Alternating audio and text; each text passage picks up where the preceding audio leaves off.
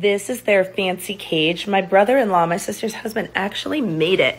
It is so awesome. Like it integrates into their living room and it fits their aesthetic. The dogs absolutely love it. And it's so cool. Like, hi Zara.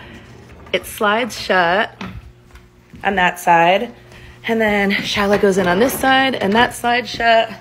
And then there's like a clip inside that locks it when they're not home and they're happy in there. That's his favorite spot. Right, Zara? Hi, handsome boy. Do you love it in there? I know. I love your grumpy, handsome face. Hi, buddy. So, yeah, he made it, and we've definitely been telling him that he should make these and sell these because it's awesome.